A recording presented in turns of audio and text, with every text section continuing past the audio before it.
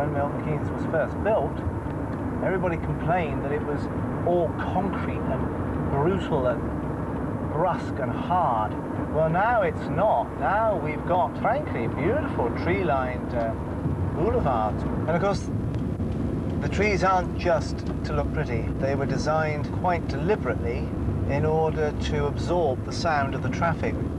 I think what I miss is the irregularity of an older town. There's, there's no old churches to see.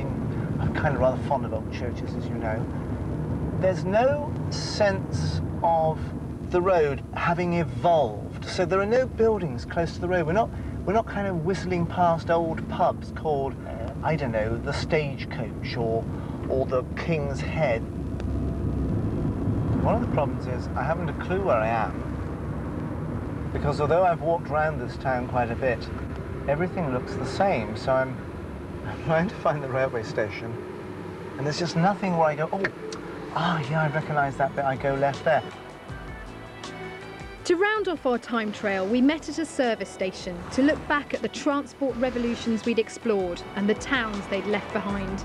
I suppose it's a good time to sort of reflect on our little journey over the last few days. I suppose Towcester arose because it was a, it's a bit like a service station. Mr. Was. It was, it was, a, you know, it was a convenient stop off from where it was St Albans, which is a day's march from St Right. Albans to Towcester. So that's where they all stopped off. Ah, good point. I don't really like that. I mean, the interesting thing about the canals is that they don't really create new towns as, as the railways do, and, or as the roads did. They more make it possible for towns to grow. And when we looked at that map of Milton Keynes before Milton Keynes happened, you had the Roman road, you've got the canal, you've got the railway, and you've got the motorway. And it's as though Milton Keynes is kind of hedging its bets. It's, it's filling the space between all four of those forms of transport. I mean, we've visited the canals, and they're now sort of a leisure, sort of almost Mm-hmm. tourist um, method of transport. Now, I wonder if we'll come back in the future and, and view Newport Pagnell service stations as a sort of tourist attraction. It's sort of you know a relic from a history, and maybe we'll have moved on from the. To go on your own transport time trail, here are the main ingredients of ours. To get a sense of how your area has developed, compare maps from different periods. The more detailed, the better.